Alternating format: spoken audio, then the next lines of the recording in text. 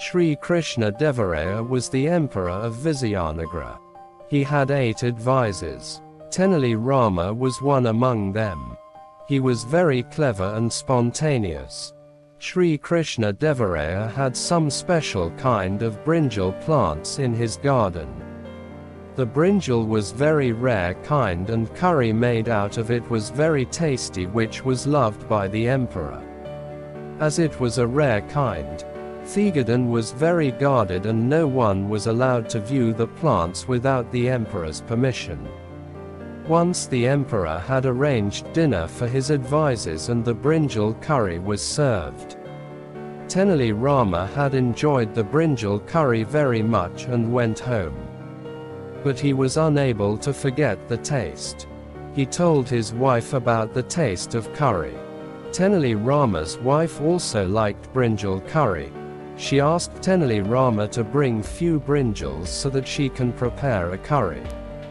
But Tenali Rama knew that the emperor was taking extreme care about the brinjal plants and he can easily detect a missing of even one brinjal from his garden. And, the emperor will punish such thief if caught stealing a brinjal from his garden. But Tenali's wife pleaded him to bring a brinjal from the garden without telling anybody. Tenali Rama had no choice other than stealing a brinjal from the emperor's garden. One night he went to the garden, jumped the wall and plucked few brinjals from the garden. By the god's grace, no one had seen him. His wife cooked the brinjals and the curry was very tasty. Like all the mothers, she too loved her son very much and wanted to serve a brinjal curry him. But Tenali Rama asked her not to do such thing because if their son reveals to anybody that he had a rare brinjal curry, then they may get caught and get punished for stealing a brinjal from the garden. But his wife did not agree. She wanted to serve the curry to her son. She was unable to eat the curry alone without serving her little kid who was sleeping after doing his homework on the roof of their house.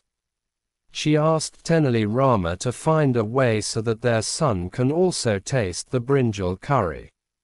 Tenali Rama also loved his son, so he thought of an idea and with a lot of hesitation went on to the roof to wake up his child with a bucket of water and poured the water on the child.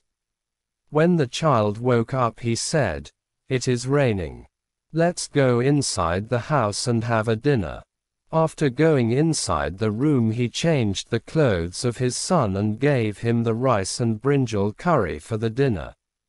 Tenali Rama told his wife loudly that it was raining outside, and let the boy sleep in the room. And the next day, the emperor came to know that few brinjals were missing in his garden. The gardener who kept the count of each vegetable and flower found that the three brinjals were missing. It became a challenging issue for the emperor and took it very seriously. He declared a reward for the person who can catch the thief. Chief advisor Appaji suspected that only Tenali Rama was capable of doing such things. And they told the emperor about it. The emperor sent his courtiers and asked Tenali Rama to come immediately. Once Tenali Rama came he asked him about the missing brinjals. Then Tenali Rama told, I was not aware of the missing brinjals. Then the chief advisor told, Tenali Rama was lying. Let's inquire his son. The king sent his courtiers to bring Tenali Rama's son. Once his son came, he was asked what vegetable he had in the dinner last night. The child replied, the brinjal curry and it was very tasty. Then the advisor told Tenali Rama that he needs to accept his crime. But Tenali Rama said his son had slept very early and he might be saying something which he got in his dream.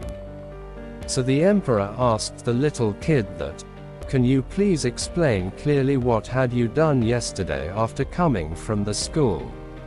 Tenali Rama's son replied that, Yesterday after coming from the school, I played for some time and after that, I went on to the roof, did my homework, and slept on the roof.